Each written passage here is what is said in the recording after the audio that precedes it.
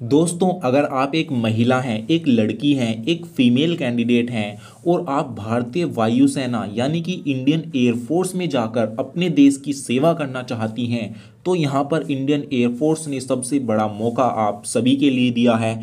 जी हाँ दोस्तों, यहाँ पर मैं आप सभी को बता देना चाहता हूँ कि जितनी भी लड़कियाँ हैं, लड़कियों की भर्ती इंडियन एयरफोर्स में आ चुकी है और इसके ऑनलाइन रजिस्ट्रेशन भी स्टार्ट हो गए हैं। इसके ऑनलाइन फॉर्म मैं आपको बताऊँगा कब से कब तक स्टार्ट होंगे।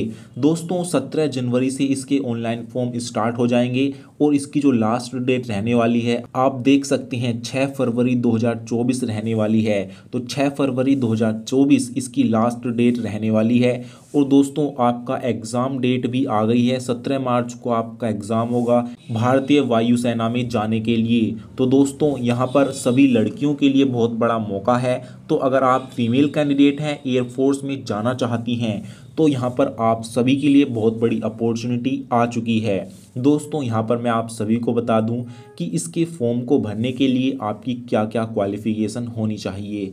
तो साथियों, यहाँ पर इन्होंने दे रखा है सबसे पहले एज लिमिट के बारे में। दोस्तों, इसकी जो एज लिमिट होनी चाहिए, वो 2 जनवरी 2004 से 2 जुलाई 2007 के बीच अगर आपका डेट ऑफ़ बर्थ है। तो ही आप इसके फॉर्म को अप्लाई कर पाएँगे। और दोस्तों, अगर ये चीज़ आपको समझ में नहीं आई तो अपनी डेट ऑफ़ बर्थ हमें कमेंट बॉक्स में लिख देना। मैं आपको बता दूँगा कि आप इसके फॉर्म को भर सकती हैं या नहीं भर सकती। दोस्तों, यहाँ पर अपर एज लिमिट 21 साल है तो 21 साल तक आप इसके फॉर्म को भर सकते हैं। और दोस्तों, यहाँ पर जितने भी कैंडिडेट हैं, वो अनमेरिड होने चाहिए। मैरिड कैंडिडेट इसके लिए अप्लाई नहीं कर सकते तो ये चीज़ आपको ध्यान रखनी है। दोस्तों, बात करें एजुकेशन क्वालिफिकेशन की तो एयरफोर्स में दो तरह की वैकेंसी आई है। एक आई है टेक्निकल की, जिसको एक्स ग्रुप बोलते हैं। एक आई है नॉन टेक्निकल की, जिसको वाई ग्रुप बोलते हैं। तो दोस्तों, यहाँ पर मैं आप सभी को बता दूँ अगर आपके पास ट्वेल्थ क्लास में आपके पास या तो आर्ट है, या कॉमर्स है, या फिर आपके पास बायो है तो आप नॉन टेक्निकल का फॉर्म भर सकते हैं। एयरफोर्स में नॉन टेक्निकल के लिए अप्लाई कर सकते हैं। इसके लिए आपके पास ट्वेल्थ पास होना चाहिए। ट्वेल्थ पास आपने की हो, कम से कम पचास परसेंट नंबर आपके ट्वेल्थ क्लास में होने चाहिए और इंग्लिश में सौ में से कम से कम पचास नंबर आपके होने चाहिए, तभी आप इसके फॉर्म को भर सकते हो। और दोस्तों, दूसरी है टेक्निकल टेक्निकल केवल मैथ वालों के लिए है। अगर आपके ट्वेल्थ में फिज़िक्स मैथ और इंग्लिश था और टोटल पचास परसेंट नंबर थे ओवरऑल और इंग्लिश में पचास नंबर अलग थे सौ में से तो आप इसके लिए अप्लाई कर सकते हैं टेक्निकल के लिए।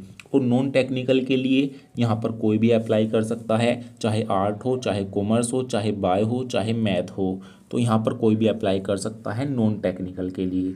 तो ये हो गया एजुकेशन क्वालिफिकेशन। दोस्तों, कुछ कैंडिडेट हमसे पूछ रहे थे कि जो ट्वेल्थ क्लास में स्टडी कर रहे हैं, वो भी इसके फॉर्म को भर सकते हैं क्या?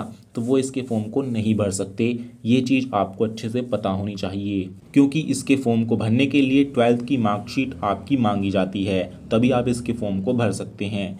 दोस्तों, बात करें हाइट की तो जितने भी मेल कैंडिडेट हैं, उनकी जो हाइट रहनी चाहिए, आप देख सकते हैं। एक सेंटीमीटर होनी चाहिए। जितने भी मेल कैंडिडेट हैं और फीमेल, जितनी भी महिलाएँ हैं, उनकी जो हाइट है वो 152 सेंटीमीटर होनी चाहिए। और दोस्तों, यहाँ पर छूट भी दी गई है। जितने भी नॉर्थ ईस्ट हिल रीजन की फीमेल्स हैं, उनको जो है, उनकी जो हाइट है 147 सेंटीमीटर होनी चाहिए। और जितनी भी लक्षद्वीप की कैंडिडेट हैं, लक्षद्वीप की कैंडिडेट की हाइट 150 सेंटीमीटर होनी चाहिए। ये यहाँ पर छूट दी गई है हाइट में। वेट आपका हाइट और एज के अकॉर्डिंग होना चाहिए। चेस्ट जो है ओनली मेल कैंडिडेट की मापी जाती है फीमेल की नहीं होती है। दोस्तों, यहाँ पर अदर चीज़ें मेडिकल वगैरह दे रखा है। मैं यहाँ पर यही चीज़ें आपको बता रहा हूँ ताकि आप फॉर्म फिल कर सकें और यहाँ पर आपको इसके नोटिफिकेशन में कंप्लीट जानकारी मिल जाएगी। इसका जो नोटिफिकेशन है, आप यहाँ पर डाउनलोड कर सकते हैं। इसका लिंक मैं आपको दे दूँगा। तो दोस्तों, अब बात करते हैं इसके सिलेक्शन प्रोसीजर की। तो साथियों सिलेक्शन प्रोसीजर में आप देख सकते हैं, सबसे पहले फ़ेज़ में जब आप इसका फॉर्म भर दोगे तो सबसे पहले आपका ऑनलाइन टेस्ट होगा। तो ऑनलाइन टेस्ट यहाँ पर अगर आप टेक्निकल ग्रुप के लिए भर रहे हैं तो यहाँ पर आपका जो पेपर होगा, वो साठ मिनट का होगा। और साठ मिनट में आपके कौन कौन से सब्जेक्ट आएँगे? फिज़िक्स आएगी मैथ आएगी और इसके साथ ही इंग्लिश आएगी। ये तीन सब्जेक्ट आपके आने वाले हैं। अगर आप टेक्निकल के लिए फॉर्म भर रहे हो और टेक्निकल के लिए केवल वही भर सकता है, जिसकी ट्वेल्थ में मैथ और फिज़िक्स थी। दोस्तों, अगर आपके ट्वेल्थ क्लास में मैथ और फिज़िक्स नहीं थी आर्ट थी कॉमर्स थी, या फिर बायो थी तो उनको नॉन टेक्निकल का फॉर्म भरना होगा और नॉन टेक्निकल के फॉर्म में आपको टोटल पैंतालीस मिनट दिए जाएँगे आपके एग्ज़ाम के लिए और आपके एग्ज़ाम में इंग्लिश सब्जेक्ट आएगी रीजनिंग आएगी जनरल अवेयरनेस यानी कि जीके और मैथ आएगी। तो इन सब्जेक्ट से आपके यहाँ पर सवाल पूछे जाएँगे, जितने भी नॉन टेक्निकल वाले हैं। और दोस्तों, अगर आपकी ट्वेल्थ में फ़िज़िक्स और मैथ थी और आपने टेक्निकल और नॉन टेक्निकल दोनों का फॉर्म भरा है तो यहाँ पर आपका जो टोटल एग्ज़ाम होगा, वो 85 मिनट का होगा, जिसमें आपके जो है रीजनिंग जीए यानी कि जनरल अवेयरनेस इसके साथ ही इंग्लिश मैथ और फिज़िक्स टोटल सभी सब्जेक्ट आएँगे तो ये चीज़ आपको अच्छे से पता होनी चाहिए। और आपकी जो नेगेटिव मार्किंग रहेगी zero point two five number रहेगी। यानी कि वन बाय फोर की आपकी नेगेटिव मार्किंग रहने वाली है। तो आपने अगर ट्वेल्थ पास कर ली है, पचास परसेंट नंबरों के साथ और इसके साथ ही आपकी इंग्लिश में कम से कम सौ में से पचास नंबर हैं तो आप इसके फॉर्म को ईजिली भर पाओगे। कोई भी दिक्कत यहाँ पर आपको नहीं होगी। तो दोस्तों ट्वेल्थ पास आपने कर ली है तो आप इसका फॉर्म ज़रूर भरिएगा।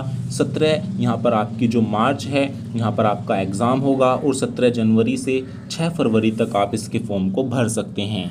दोस्तों, ये थी जानकारी एयरफोर्स में सभी लड़कियों की। तो अगर आपका अब भी कोई सवाल या डाउट है तो आप हमसे कमेंट में पूछ सकते हैं। और जल्दी से इसका फॉर्म भर दीजिएगा, जैसे ही इसके फॉर्म ऑनलाइन होंगे। और बाकी सभी जानकारी, सभी अपडेट मैं आपको यहाँ पर बताता रहूँगा।